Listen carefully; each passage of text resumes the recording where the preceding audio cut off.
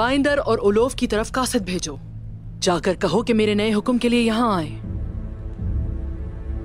लगता है मुझे इस वक्त उलोफ की ज़्यादा ज़रूरत है। क्या आप वाकई ओलोफ को मार मराचिक देने जा रही हैं वालिदा सुल्तान? वो अहमक यही सोचता है।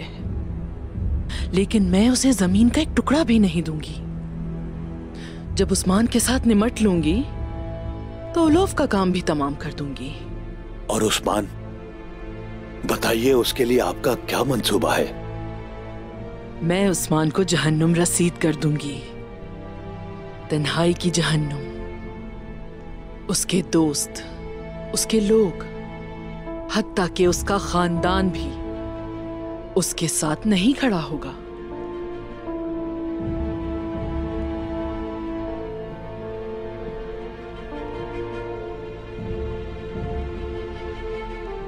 मैं यनी शहर पर गुर्बत और फाके लेकर आऊँगी। जब उस्मान के तमाम लोग भूख से मर रहे होंगे, तब मैं उनकी रस्सी खींचूँगी और वो उस्मान से मुँह मोड़ लेंगे। उस्मान से मुँह मोड़ने वाले मेरे साथ खड़े होंगे। वालिदा सुल्तान पूरा यानी शहर ले लेगी और वो देखता रह जाएगा।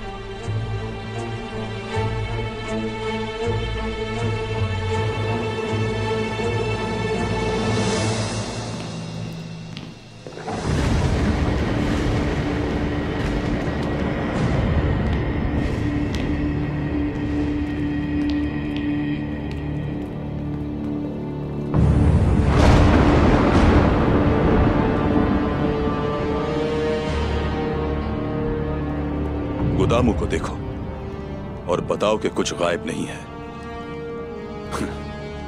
हमने जो कुछ शुरू किया है अल्लाह करे उसका खात्मा अच्छा हो।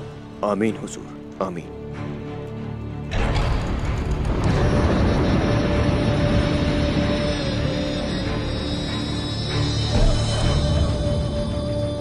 इस तरह अचानक दौरा करना।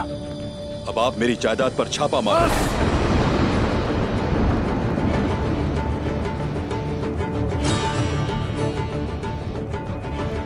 निकलो यहाँ से।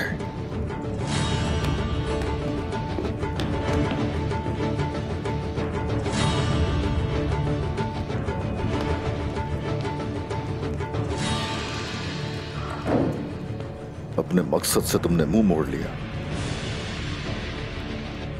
उन्होंने हमारे सिपाही शहीद कर दिए। करारगाह का मकाम सिर्फ़ तुम जानते थे।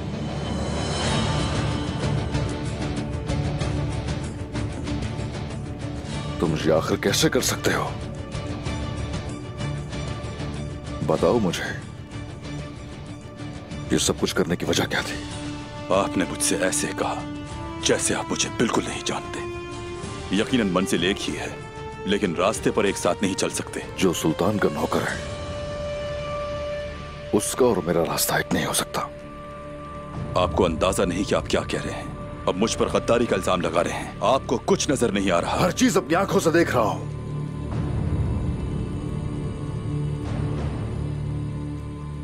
करारगाह का मकाम ज़ाहिर करने के लिए तुम इतने नीचे नहीं गिरे। जितना पीठ फेरने से गिरे हो। उन्होंने इसलिए हमला किया क्योंकि तुम वहाँ नहीं थे। मैंने भरोसा किया था तुम पे। तुम एक अजीम पहाड़ समझा मैंने। लेकिन तुम एक पहाड़ तो क्या छोटी सी चट्टान भी नहीं हो? तुमने मेरा दिल दुखाया है। और आपने मेरे साथ क्या किया? मैं कोई खराब चाकू नहीं हूँ उस्मान साहब। अगर आप मुझे इतना तेज कर देंगे तो मैं यकीनन काटूँगा। तुम मेरे खिलाफ हो गए सिर्फ़ जायदाद की वजह से और मैंने भाई कहा था तुम्हें। ये तुमने अच्छा सबक दिया तुर्कुत आप जानते हैं आपने क्या किया। आपने उन लोगों को छोड़ा जो शुरू से आपके साथ हैं। क्या आप जानते हैं कि आपका साथ देने के दौरान मैंने कितने लोगों को खोया? कितना जख्म है मेरे अंदर? आपके लिए कितने कीमती लोग खोए हैं?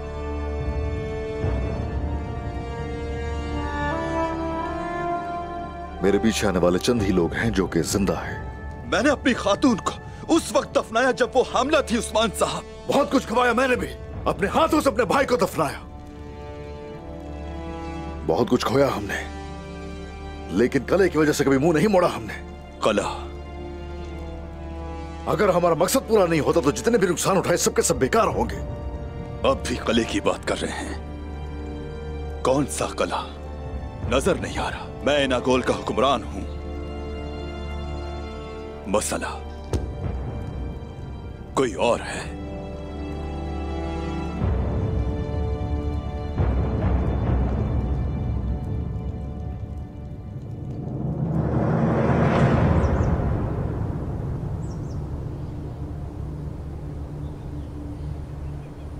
उस्मान आओ देखते हैं कि क्या आप तुम कोबरा सार पर हमला कर सकते हो। उस्मान हमारे हमले ने उसे पागल कर दिया होगा। टांगे तोड़ दी हमने उस्मान की। जल्दी। बहुत जल्द मैं उसकी गर्दन भी तोड़ दूँगा। इस मिहान को वो मिल गया जो वो चाहती थी। यकीनन आज वो बहुत खुश होगी। और हम?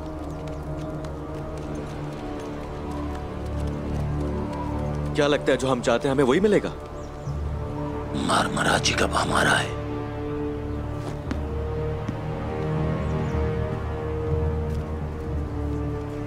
मेरा भाई ठीक कह रहा है। इस मिहान सुल्तान मरमराजिक ना दे तो क्या होगा? बोलो।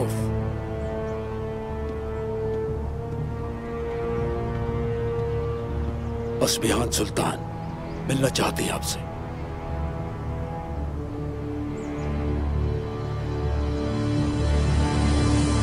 कुछ और चाहिए हा? मजीद और। मजीद कुछ और चाहिए? यानी जो तुम्हारे पास है। तुम मुझसे मुतमिन नहीं। तुम्हारे अंदर सिर्फ़ और सिर्फ़ जायदादों की आरज़ू है। जरा देखो अपने आप को। गुरूर देखो जरा अपना। आपने मजबूर किया मुझे। अब आपको अपना यह दुर्गुत बिल्कुल अच्छा नहीं लग रहा। अपने गैर मुनसिफाना सुलूक को मत भूलिएगा। हाँ दिया मैंने कलाव तुम साहब को। जबकि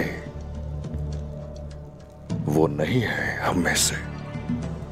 उन्हें इनाम से ना नवाजूं तो वो चले जाएँगे, छोड़ जाएँगे। लेकिन तुम तुम तो मेरी पीठ थे। तुम तो मुख्तलिफ़ थे दूसरों से। मगर मुझे बिल्कुल अंदाज़ा नहीं था। कि जायदाद की खातिर तुम पीछे हट जाओगे मकसद से। मैंने जायदाद की वजह से ना अपनों को छोड़ा है और ना ही छोड़ूँगा।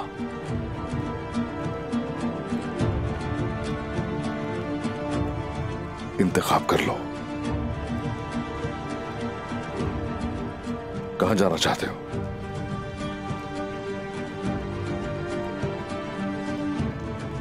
अब आपकी बात नहीं मानूँगा। मेरा कला छोड़ दे उस्मान साहब। इन गोल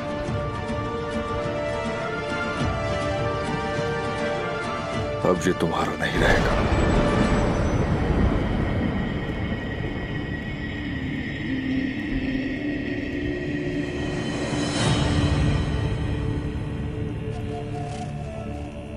जंग के बगैर नहीं।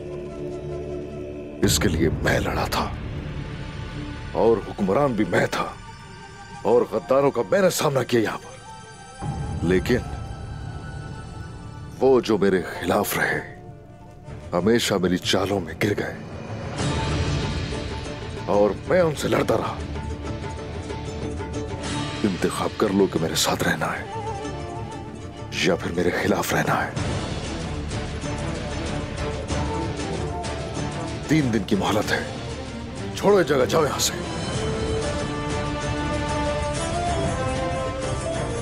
हम अपनी जाने दे देंगे। लेकिन अगर आप हमारा घर चाहते हैं वो हम हरगिज नहीं छोड़ेंगे।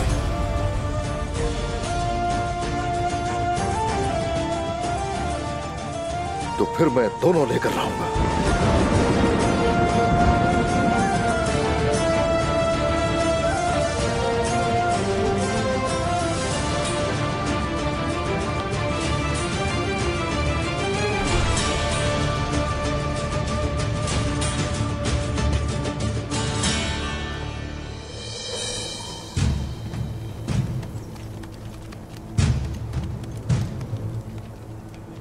के निशानात दोनों तरफ़ हैं।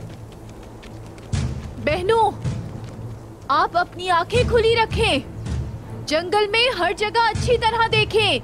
हम इस जगह का चप्पा चप्पा छान मारेंगे आयशा खातून। इतमान रखें। हम उसे ढूंढ लेंगे ज़रूर ढूंढ लेंगे। हम उसे ढूँढने से पहले यानी शहर वापस हरगिज नहीं जाएँगे।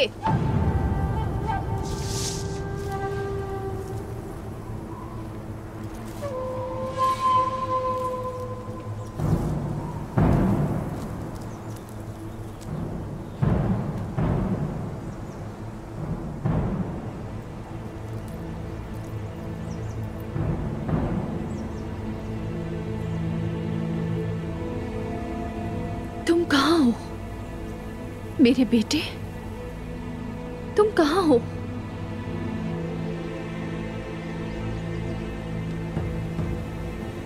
ये क्या है? आलगन। बालिया? क्या ये अलचे चक्की है? अगर वो यहाँ थी तो अजीब उलझन का शिकार हो गई हूँ मैं। आपको क्या लगता है क्या हुआ होगा? मैं नहीं जानती आलगन। मुझे नहीं मालूम। मैं बस इतना जानती हूँ कि आलचिचक ने मेरे बेटे को नुकसान पहुँचाया है। उसने किया है ये। आयशा खातून। बोलो। ये तैमूर साहब का घोड़ा है अल्लाह उनकी हिफाजत फरमाए।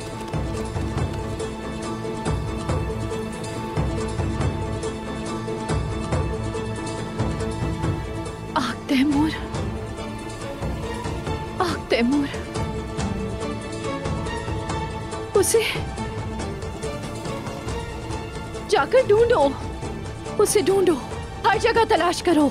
आलगन, मेरे बेटे को ढूंढो। हम उन्हें ढूंढ लेंगे।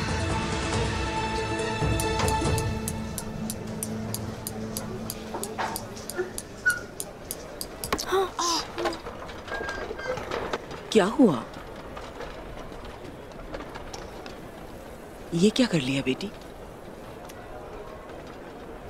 हाँ? क्या तुम आगतेमूर के बारे में दोबारा सोच रही हो? नहीं। क्या मैं उस शख्स के बारे में सोचूँगी जिसने मुझे पीछे छोड़ दिया? सोच रही हूँ अब क्या करूँ? अच्छी बात है। अपनी माँ की बात सुनो। वो लड़का उसमें बहादुरी नहीं थी। उसकी मोहब्बत भी झूठी थी।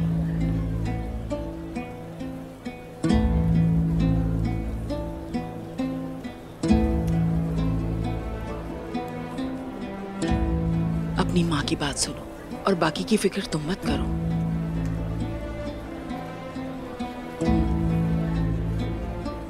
मैंने सबक सीख लिया है, वालिदा। अब से आप जो चाहेंगी वही होगा।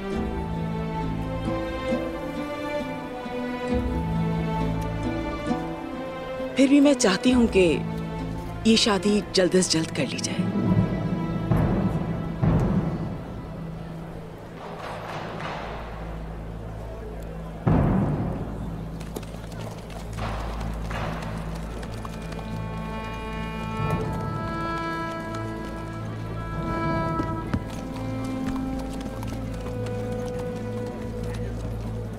जनाब, कहाँ जा रहे हैं आप?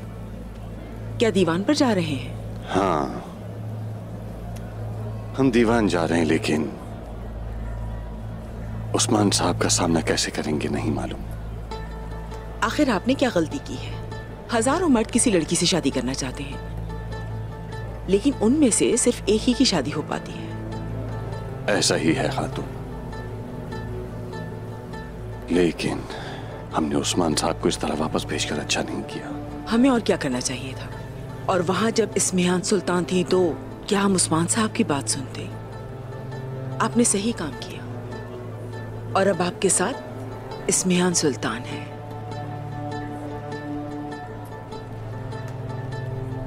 अलची चेक क्या वो ठीक है? क्या वो इसके लिए राज़ी है?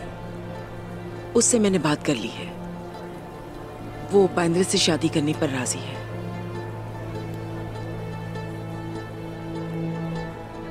ठीक है। तो फिर चलो। हम चलते हैं कहीं देर ना हो जाए।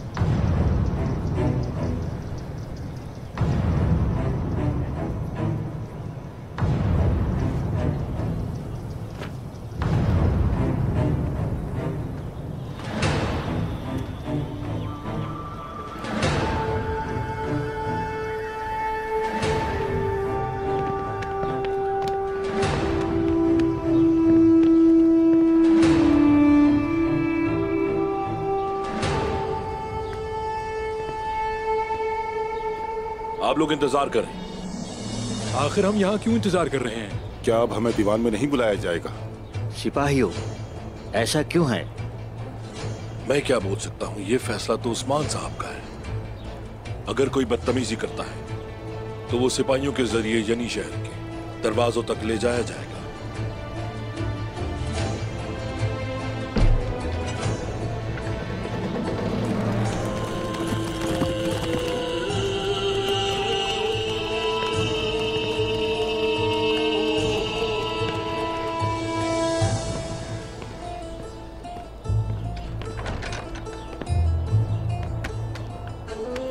अस्सलाम वालेकुम वालेकुम सरदारान दावत अब दीवान में बदल चुकी है।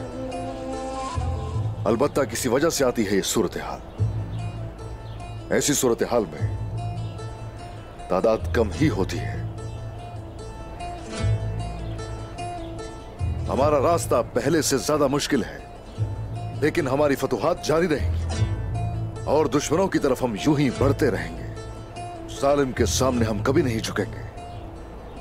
और अब, आप में से जो लोग दीवान में शामिल होने के ख्वाहिशमंद हैं, गलों में रस्सी की गिरा महसूस करेंगे। शेर के मुँह में हाथ डाले बगैर, याद रखिए दीवान में कोई भी शामिल नहीं हो सकता आप में से।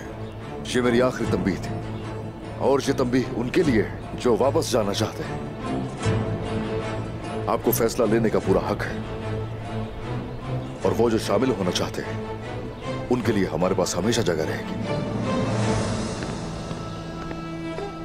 तो इस राह पर चलने वाले को मौत का खतरा है। चलो सरदारान।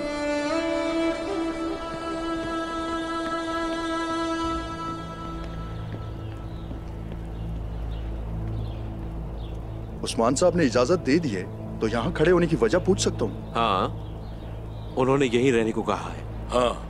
उन्होंने कहा है कि जो लोग वापस जाएँगे, वो अब से सिपाही यहाँ सरदार भी नहीं रहेंगे। जो सिपाही या सरदार नहीं है, वो तलवार नहीं उठा सकते। हवाले करो।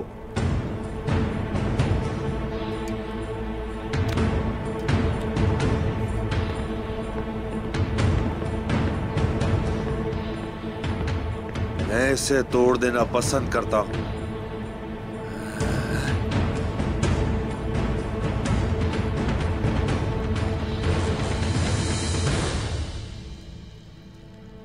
आप तशरीफ़ रखिए।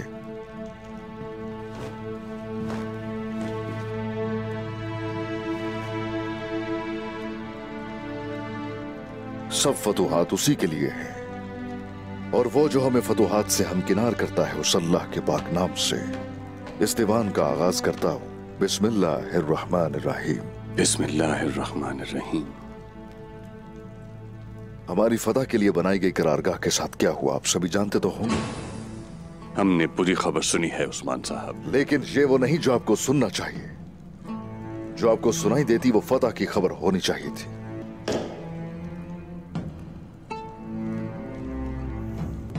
जनाब आप अपनी फतूहात को खुफिया रखते हैं। हमारी बुनियाद को किसने बेनकाब किया?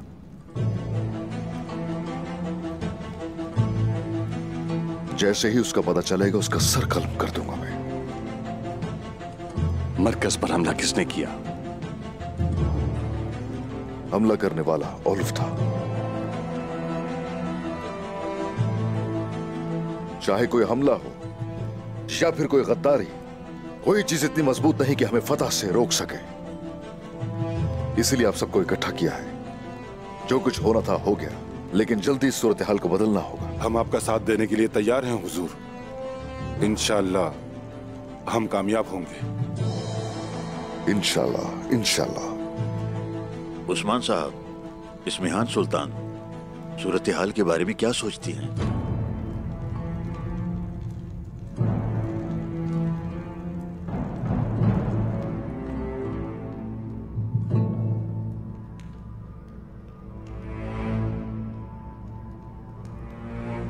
इस्मिहान सुल्ताना मुझे ज़मीन देने वाली थी। आपके आबाओ अजदाद को कुस्तुनतुनिया आए कितना अरसा हो गया? दो सदियाँ?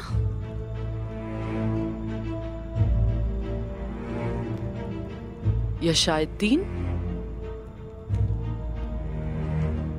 क्या तुम्हें ऐसा लगता है कि मैं तुम्हें अपनी तमाम ज़मीन दे दूँगी? वो रोम जो इन तमाम सालों की खिदमत के बावजूद नहीं दिया। ये इसके बारे में नहीं है। मैंने अपने हिस्से का काम कर दिया है, बाप की बारी है, सुल्ताना। जिस ज़मीन का आपने मुझसे वादा किया था, मरमरा चिक्किला आप मुझे देंगी। अभी।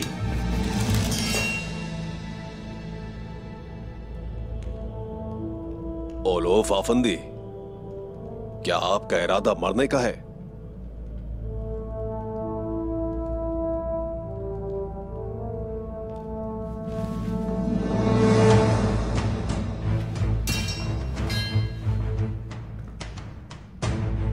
मैं अपने वादे पर कायम रहूँगी।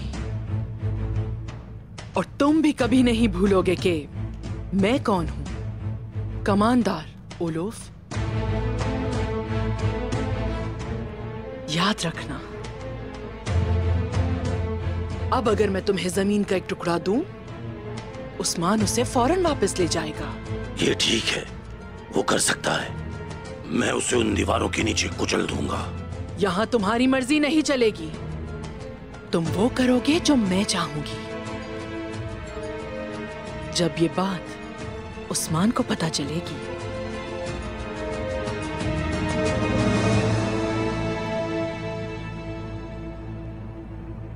कि उसका भतीजा तुम्हारे पास है तो वो अपने भतीजे की तलाश शुरू कर देगा। और फिर तुम उसे एक बड़े जाल में फंसाओगे। मौत का जाल। आप फ़िक्र ना करें, सुल्ताना। मैंने पहले ही अपनी चाल तैयार कर ली है।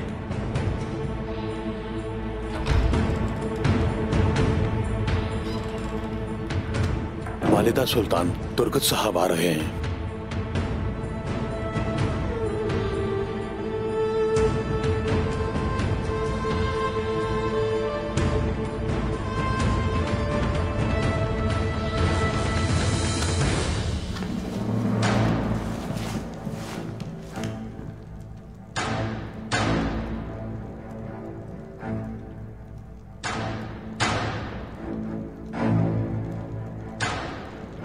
इसमें हान सुल्तान की सोच अगर आप जानना चाहते हैं तो उसकी तरफ़ चले जाइए।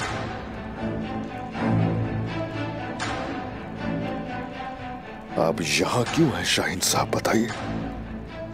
मैं ये जानने के लिए पूछ रहा हूँ कि हम क्या करें।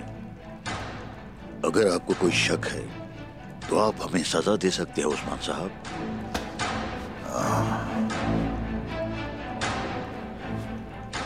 हाँ, ठीक है।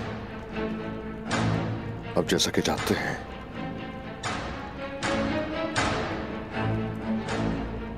दीवान में जो होता है, दीवान में ही रहता है।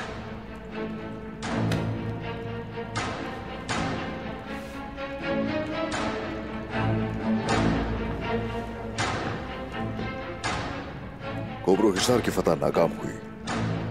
सारी तैयारियाँ हमारी बर्बाद हो गई। मगर यही फतह का बेहतरीन वक्त है। इतनी जल्दी हम हमला कर सकते हैं, उनके वहमो गुमान में भी नहीं होगा। वो कोपरू हिसार के बारे में जानते हैं। वो हमसे कोपरू हिसार की तरफ़ बढ़ने की तवक्को हरगिज भी नहीं करेंगे। सिपाहियों, हुजूर, आज रात ही वहाँ सारे के सारे दरख्त काट दिए जाएँ। मशल रोशन करके मंजनी के जितनी तैयार कर सकते हैं, आप वहाँ कीजिए। अभी से तैयारियाँ शुरू कर दी जाएँ। और हमारे लोहार कोई वक्फा लिए बगैर तलवारों पर तलवारें बनाते रहेंगे। हर वो चीज़ चाहिए जो फतह के लिए दरकार है। उन्होंने हमारे पाँव काटे हैं लेकिन हम उनके सर काट देंगे। इंशाल्लाह जितनी जल्दी मुमकिन हो। ठीक है दीवान खत्म हुआ। फ़ौरन जाइए और तैयारियाँ शुरू कीजिए। हर किसी का यकीन अगर कामिल होगा तो फतह ज़रूर होगी इंशाल्लाह।